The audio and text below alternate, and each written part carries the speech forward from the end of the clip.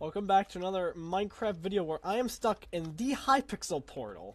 And I do not know how to get out. I am flying. I am stuck in a purple void now.